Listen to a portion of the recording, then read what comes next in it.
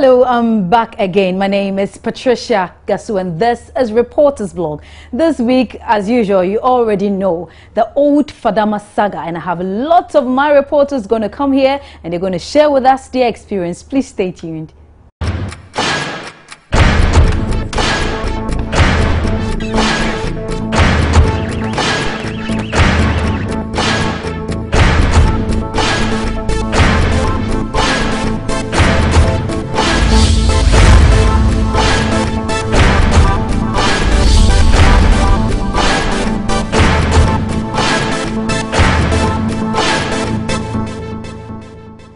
And welcome back. I have Latif Idris here with me. How are you feeling, um, Latif?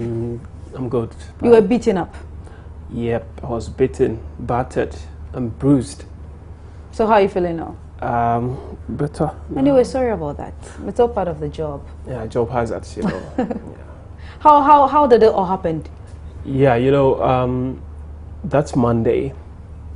After editorial meeting, you know, information hit our wire that um, some residents of Sodom and Gomorrah were demonstrating against the demolition exercise that was being, you know, undertaken yeah. by the AMA.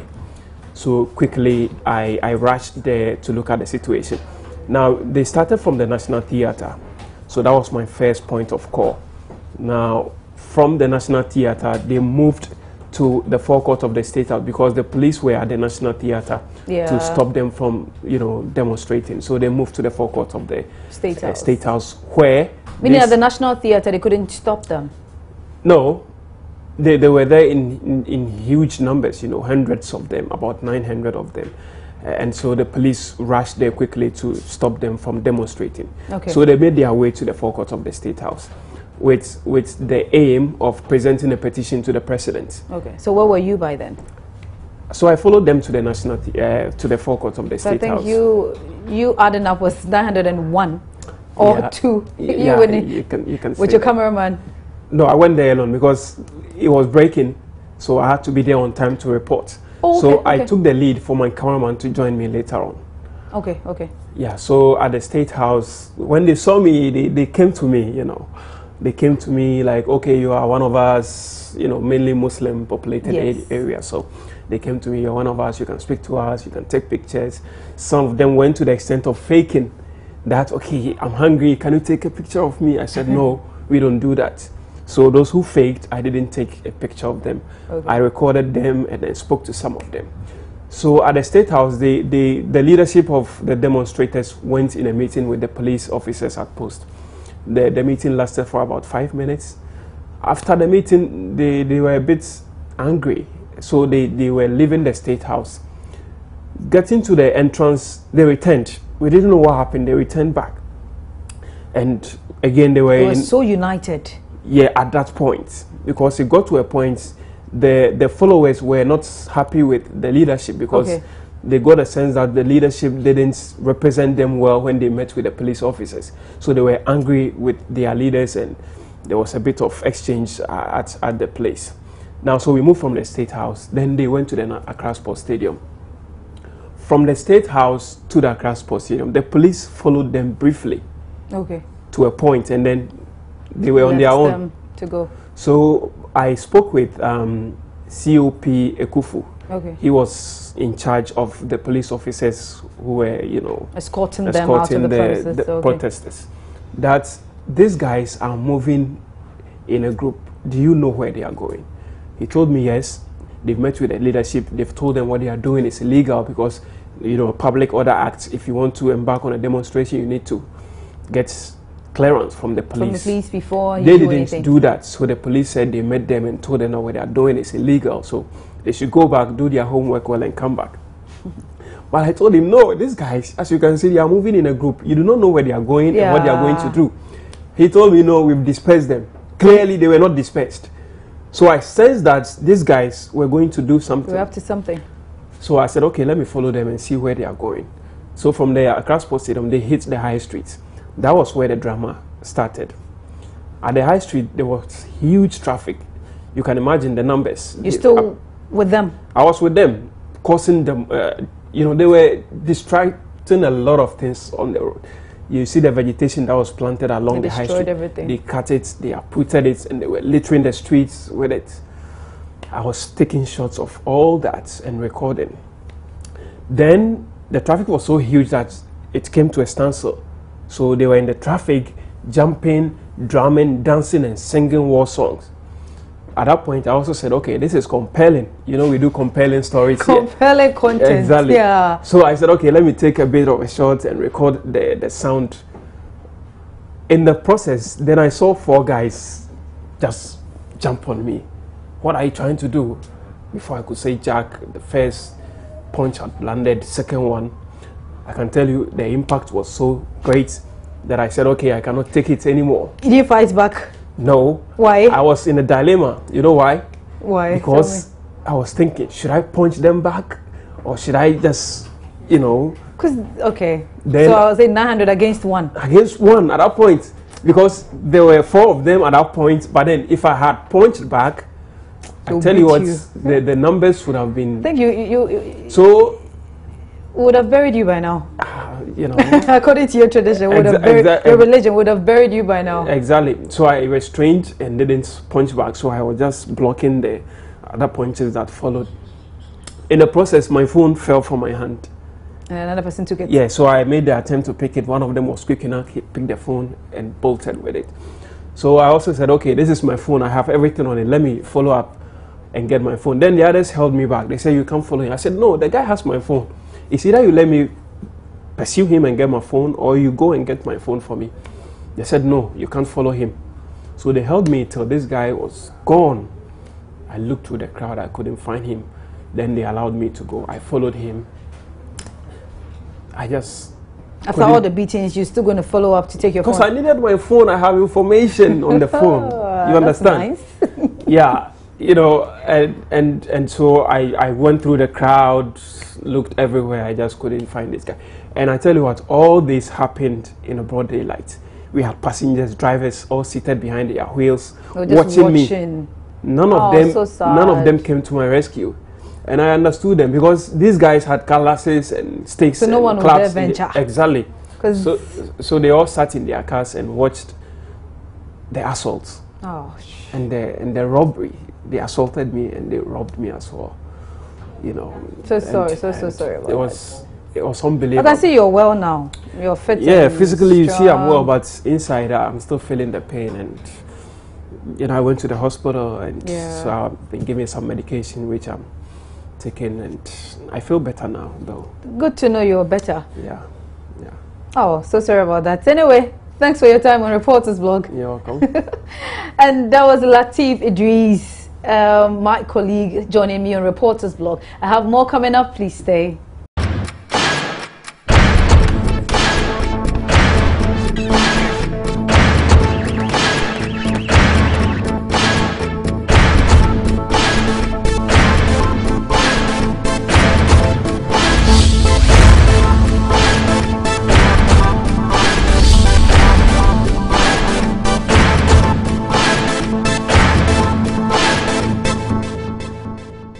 And welcome back. I have Julius joining me on Reporters Blog for the first time.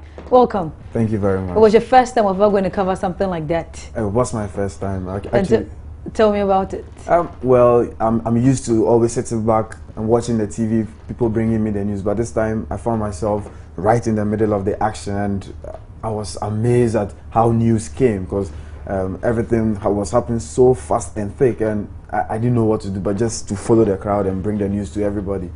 So when you got there, did you have to interview people or? Actually, I was helping Gladys produce um, produce the report, so I was bringing people for her to interview, and um, it, it got to a point the news were, were coming from different angles, so I had to be at another side, covering it, taking pictures with my phone and taking videos with my phone, and she was at the other side, and it was all coming in and fast. And no one attacked you because you're using a phone. Eh, eh, Latif was virtually attacked because he was doing the same thing.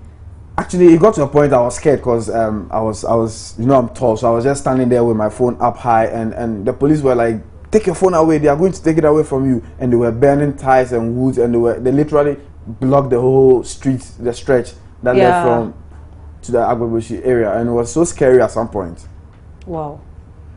So did, were the people you went to speak to to come over to Gladys so Gladys could interview? Initially, they wanted the media to, to speak for them, so they were welcoming. They, they wanted Okay. us to, to sit down and wait for their leaders to come so they could have a press conference. So they were willing to talk to us and everything. They weren't rowdy at all. So tell me about your experience. My experience actually was it was a very good experience for me because um, being my first time covering a major story and was you know that story was breaking and to be part of it, I, I felt very privileged to be part of it at that particular moment. Wow. So so tell me the crowd when you saw the crowd in the first instance, what what, what was your impression? Initially, when we saw them first, they were just wielding placards and boards with inscriptions, protesting, moving up to and fro the streets. So I was like, I was just looking around. I was, I was surprised. I was just looking around, Following Gladys. following Gladys and thinking, what is going on? What am I going to do? And then before I could realize, um, they were just moving from one side to the other side. They were blocking streets, and the police had parked, but the police weren't confronting them. Anybody, They were just doing what they wanted to do. So when Gladys asked you to go and call them, that was when it, it hit me that I'm, I'm actually here to work, not to look at what is going on. So you, you need to look at who you are going to bring to the camera to talk. And it was, it got to a point I had to use my, my, my senses because some people were very angry, some were very sober, but some were very angry at what the demolition exercise had caused to them. So they were just eager to speak to the camera. Okay, so you went to those that were so angry or the calm ones. Because we wanted Because something that was already you were scared. I was scared, but because we wanted something that was compelling, something that could actually Hey, we never go without the word compelling. bring. you know, because you, you want to you want to tell the story from the people's perspective, not Yes, from your journalistic yes. perspective. So we, we were. I, I- needed someone who could actually come and say how they were feeling because that's what we wanted the people out there to know. So that's what I did. oh, well, that's that's that's good. I believe you learned a lot. I, I learned a lot, and I, I, I think it will go down as one of my my my best journalistic moments. That's nice. Thank you so much for Thank- your time. Thank you very much for having me. And we'll be right back with more. Please stay.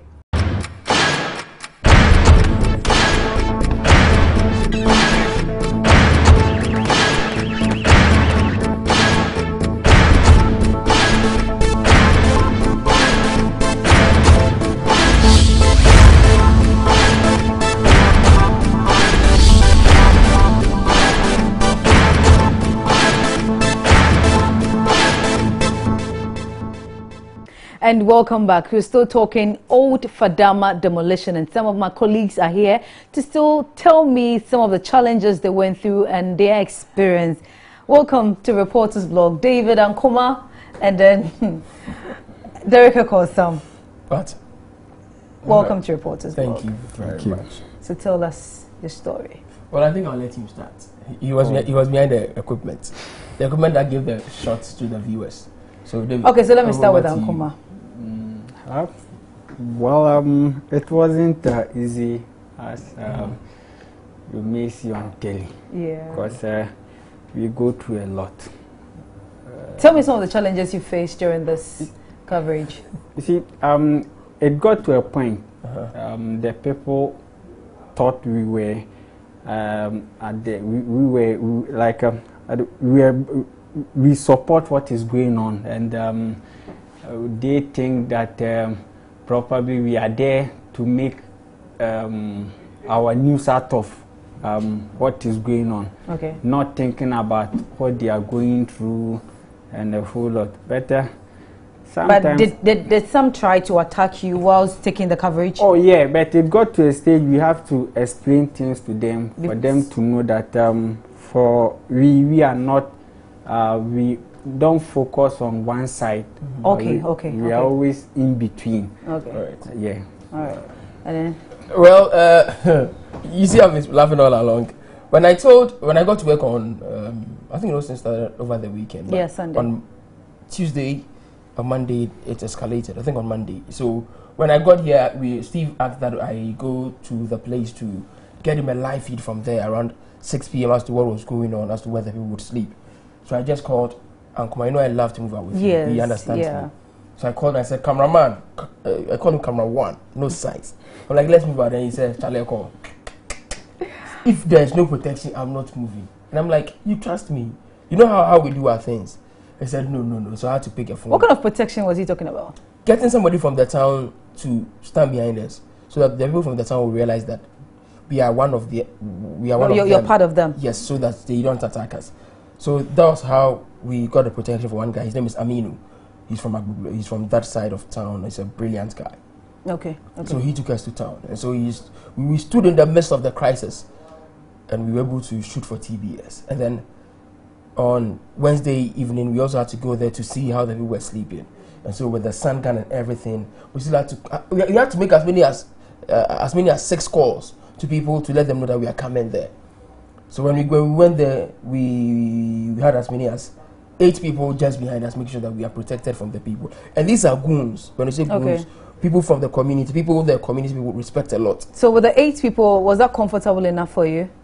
Um, Or you wanted more people behind you? you see, whenever you are in a, when you are you, you go on fold and um, you know there will be a challenge Yeah. over there. You have to um, at least Secure get- yourself yeah, a bit. Even if there's no uh, police protection there, so far as um, you have the people within backing you, Yeah. um, it, sometimes it gives you the um, upper hand to you know uh, work.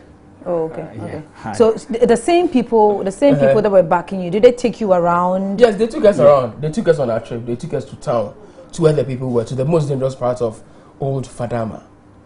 Walking, Okay. walking along He the was Kwale- asking for protection. Were you not scared? He, well, I, well, I, it I, got to a stage. Mhm. You see, we- do- like we are being trained Okay. Okay. for that, but it's just that uh, whenever you are moving, you have to at least ask two, three questions in order okay. to know um, what um, you are actually going there to do. Because sometimes you may go to the uh, fault, um, the information being given here will be different from what uh, you see uh, on the fault. Because um, when it comes to um, cinematography, a lot goes into it. please repeat the word. When Why do you want to? He's talking about cinematography. Yeah. Really, really, really. yeah, because um, we have uh, a, a lot goes into it. Why am I saying a lot goes into it? Sometimes um, you have to be um, smart, even though working, you have to be smart, Smart quick enough, thinking. yeah. Yeah, so that um, whenever um, there's a problem, you can inform your reporter. Your reporter, Because okay, okay. sometimes people may try to attack the reporter. As shooting, you use one eye of yours going round so that um, you know what is going Okay. on. Yeah. You see why I like Ankoma? Not only does he know his job, he knows how to protect me in the field. And he speaks impeccable English. But you. but you are big. You know, Camera one, you, no know, side. you, you know, you know, I'm a technical guy, and um, But, but you know, You know, he, you know, he makes it easier. uh, When he gets out there, we discuss what we want to do. So I tell him this is what I'm looking out for. Okay. And he's not one of those other people who would not want to be told, get me this shot or get me that shot. Because Okay. you may be focusing on another shot, I will have my eye on another shot. Okay. So I'm like, David, Charlie, do this for me. Bah! Sorted. Okay. Okay. And he gives me as many visuals as I would want. And at times I get angry because I have too many visuals to choose from. It makes the editing, But that is exactly what you want. but it makes it difficult at times because you choose this visual and then you play it, you realize this one is nicer than, than this one. So you keep on choosing and choosing and choosing. But it's, I because it's, great it- guy. it- it's because you don't have the technical eye. Thank so the, the two of you, the two of you have been on the field. What has been your most challenging moment in during this whole demonstration, demolition? I think it was last night, uh, uh, uh, Wednesday night. You see, on Wednesday night we were walking without the sun gun because we didn't want, want people around to know that we had come You there with a camera until we had got to the place where we want to shoot. So we were walking in the dark, and they were taking us through Lungulungo, taking us through very small places.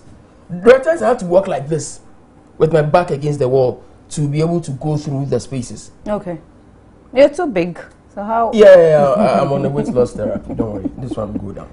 So that's how come we were able to get there. Very challenging, walking through places that are filled with sawdust and water. And so when you step in and you're not too careful, you might slip and fall. Yeah. And imagine working with a camera. and holding the camera and protecting your camera, and protecting your phone, protecting your lives as well. But in all of that, Charlie, it was a it was a nice experience. Very pathetic scene. People sleeping outside.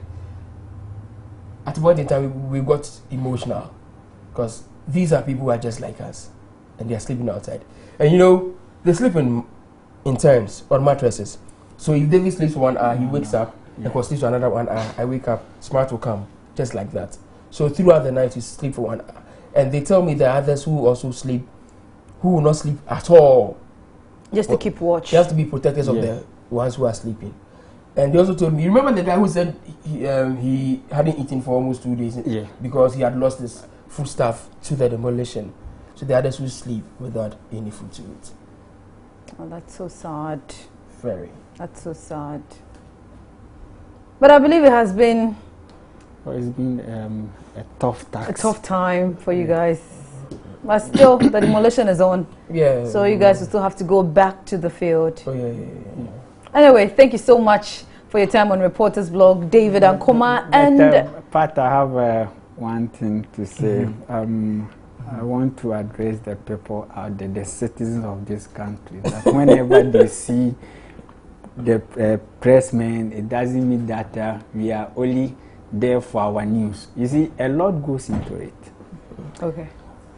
Sometimes now, um, whenever there's a situation like this, you are enemy to national security, mm -hmm. you are enemy to your own people that you are out there to save. Mm -hmm. Why? Because probably maybe the security personnel may um, try to use force. They will apply force on them. The moment they see cameras around yeah. they will calm down. Okay.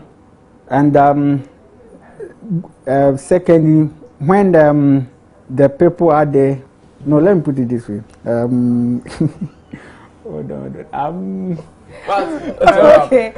Thank you so much for your time. you you you gathered your words. You told me after after the show, and those are my colleagues.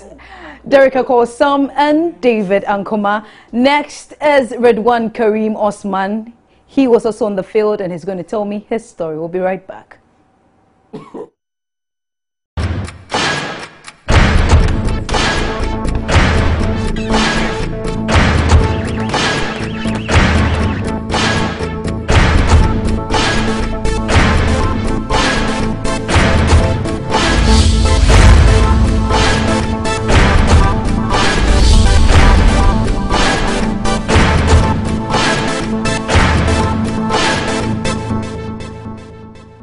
Welcome back. And as I said, Kareem Dean Osman Redwan is here with me.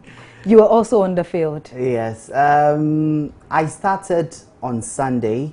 Uh, that was actually when I was put on the beat. When we got to the scene, uh, the place was already in a mess. The police were still uh, struggling with the residents, you know. Uh, the residents, as I have said in a number of the reports that I have filed, Resi the residents were actually meeting the whole exercise with so much resistance. And so, in the course of the whole exercise, you realize uh, the police officers uh, were calling for reinforcement. And it, it tells you how angry uh, the people were. One, one, one that I saw was the cocoa seller. well, um, the, yeah, the cocoa sellers issue, uh, you know, you realize she was very angry. She, she was, was, very angry. Exactly. She was frustrated. And uh, I also decided to take it very calmly with her because I, I mean, from where I, I stood when I was conducting the interview, I realized, I mean, she had very genuine concerns. This is a lady who... She was even about to throw a blow at you. no, no, no. With her words? No, no, no, no, not really. But, I mean, she was just trying to uh, let me understand how dire the situation uh, is. Yeah. She's a, she's a, she's uh, taking care of her children single-handedly, and the only source of livelihood is by selling cocoa. And now almost all her items uh, have been destroyed. Even the pots that she uses she to boil water to prepare the porridge have all been vandalized as a result of the exercise. And so she was just sharing her ordeal with me, the fact that uh, she I mean, has to go to other neighbors to, I mean, ask for the pot to prepare the porridge, and also the fact that she doesn't even have a place to put her head, and so she would have to make do with the floor. I mean, put firewood together. So I want to know get the place warm up to be able to sleep. I want to know your first impression when you got there. That's what I've been asking all your other colleagues. The first impression when you got there. Well, um, before I got there, you know, I mean, the usual stories about Sodom and Gomorrah, the fact that the people are very violent, and so you needed to be careful, tread cautiously, get somebody to lead you into the community, and all of that. So, did you also get someone to lead you into the community? That was the initial plan, but when I got to the scene, that plan didn't really work because at the point the police had mounted a blockade, and so people were not allowing in, and people were not being allowed to go out except okay. for the media. And so the person who was supposed to have led me to the scene couldn't actually meet me. And so I, it was myself and my cameraman. And so at a point, I mean, when the shooting and stuff uh, started, and my, I, I mean, I got a bit emotional and my cameraman, I mean, Jata George was telling me that one, let's, I mean, we've done this before, flood and fire. We were on the beat, so this, let's just, just take it, down, I mean, it gently, and at the end of the day, we will deliver. And so we were just there. He started shooting, and the the residents, I mean, told me that we want to talk.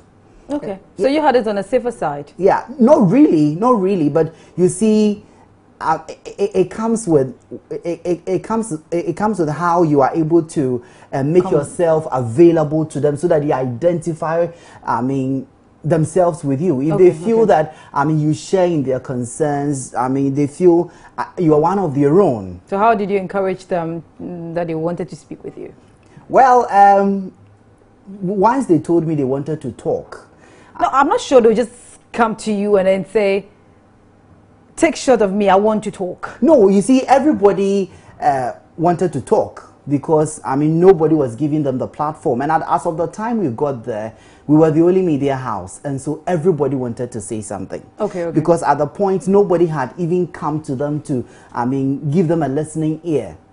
That I mean, these are our concerns. We're not giving prior notice, and our items have been so they had all those issues, okay. and so for them our coming was a, a, a, very big opportunity for them to, I mean, come out with all those concerns. And so in the course of the interview, everybody wanted to say something. And so I said, guys, relax, relax. Everybody will get the opportunity to talk, but one person at, at a, time. time. And so that was when, I mean, they felt that, well, I mean, indeed, he has promised to give us the opportunity so to felt, talk. So felt, let's just felt on top of the game. Exactly, and so that's how come I was able to get all the interesting sound bites that I mean we have.